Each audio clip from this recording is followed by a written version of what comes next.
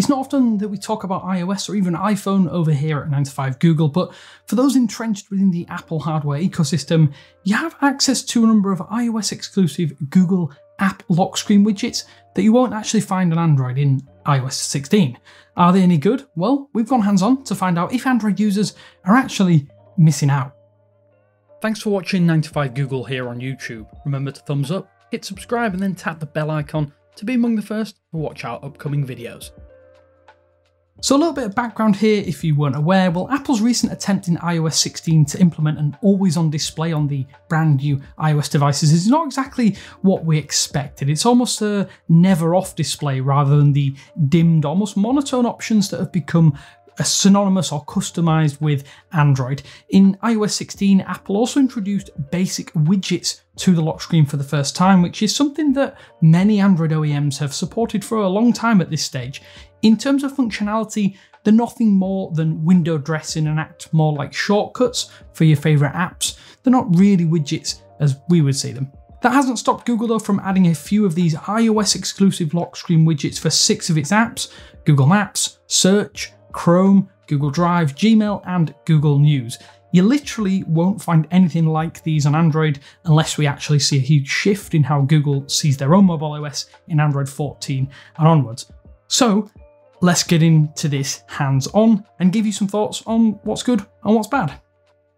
So the widgets for Google Search, they require a dedicated Google Search app from the App Store. So if you're wondering why you don't have them, if you do have an iPhone, just go and download the Google search or just Google from Apple's digital storefront. It's obviously not baked into iOS like it is on Android as we're used to, as none of these apps actually are, but you will likely use them more consistently or just as consistently if you're a Google or you're entrenched within Google's software ecosystem.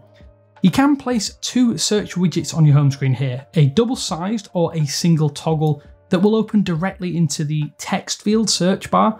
Voice search will instantly launch into a basic assistant powered full screen view, provided you do have microphone access enabled, and if you don't, it will ask you that anyway.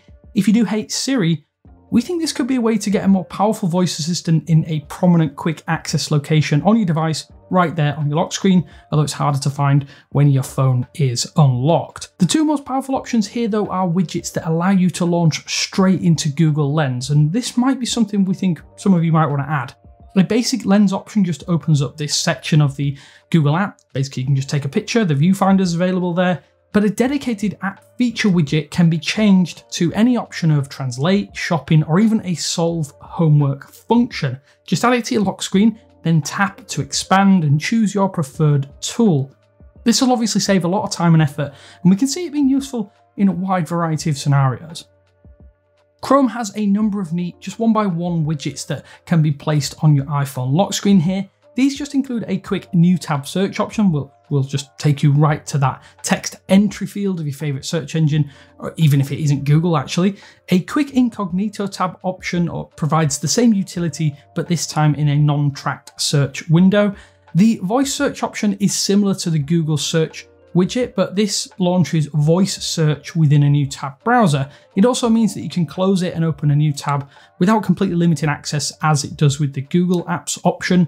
By far the most fun inclusion though is a one by one Chrome Dino game widget. Tapping this just launches straight into a new tab where you can start jumping over as many cactus or cacti, I think it should be, as you can actually handle. And this is the game that you can play in vast majority of Chrome browsers across mobile and desktop when you don't have an internet connection. If you do use Gmail as your default email client, the lock screen widgets for iOS will be especially helpful here too. The Gmail widgets are a little different though, as you can even add a top line to the default lock screen clock as well. This just shows the current calendar date with a prompt indicating just how many messages or unread messages are available to you.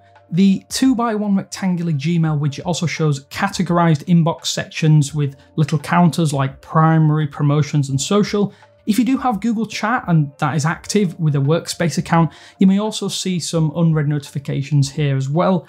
The most simple one by one widget just, just shows how many unread email messages you have waiting with the Gmail logo underneath, and that might be the one that a lot of you do pick anyway. Tapping any of these widgets just takes you directly to your inbox within the Gmail app, and that's it. As with many of these, so long as you use Google Maps as your default versus Apple's own options, and you use Google Maps as your default navigation method, then you can access some neat quick toggles alongside that at a glance information. And this kind of mimics to an extent what you might see on Pixel phones from now on. Basically, the Maps widget offers a frequent trips 2x1 widget, which should learn over time what kind of regular journeys that you do take.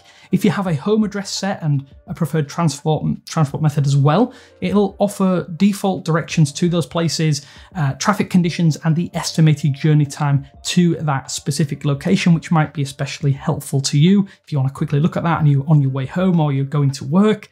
The one by one maps widget can be customized so that you can just quickly search for prominent or what you would deem useful locations like restaurants, local amenities like coffee shops, parking, electric vehicle charging and gas stations, hotels, and a few more, depending on what region you live in. When paired with the Google Lens shortcuts, we think this actually could be really helpful when traveling internationally, especially if you are an iPhone user. The Google News lock screen widget for iOS just offers a simple live news ticker, which is based upon your previous viewing or reading habits and then any of your interest subject areas. It only comes as a simple 2x1 icon size, which just shows the publication name alongside the Google News logo, while the headline is just found underneath in a little bit more prominent text. Each new story will periodically change throughout the day. Well, you can't swipe or tap that, but when you do actually tap the widget itself and your phone unlocks, it just opens the Google News and then loads the publishing site within the application page viewer, not actually a tab within Chrome. It's all opened within Google News itself. Of all of Google's iOS exclusive widgets, of the 16 widgets that are available, the Drive option feels the most out of place, at least to us. Acting as a way to just quickly access any uploaded or shared files, it doesn't really feel best suited to your lock screen on a smartphone, but if this were available on iPad, we could see it being a bit more useful over there. Sadly, it isn't. There is one 2x1 widget here for suggested files. This just shows a snippet of any text files or offers a little bit of information based upon when you last opened or used Drive itself, while two further 1x1 widget options for search, just like you jump into in-app file searches. The Starred widget lets you quickly access any of your favorite files without actually needing to unlock or launch the Drive app, and it just quickly does that in, uh, as soon as you tap it. But overall, it just feels a little bit out of place, especially on a smartphone. But if you do have a work device, might be useful to you for you there. That's all we can really think about that one. So to summarize that, I think if you use an iPhone, the new widgets are likely going to be pretty useful for reference, but in terms of overall functionality, Google's iOS lock screen widgets really don't add that much. Apple's limits on the number of toggles that you can place on your lock screen also means that at most you can have up to four small one by one or two double size, that's two by one widgets, or a combination of two small and one large widget per profile on your device. The only upside is you can have multiple profiles with multiple widgets on there, depending on what access to applications and widgets that you do want. Visually, we think this does make sense, but in terms of actual functionality, it can feel a little bit inhibiting. However, it is a step in the right direction for people that do prefer iOS over Android, especially if you are someone who uses a lot of Google applications.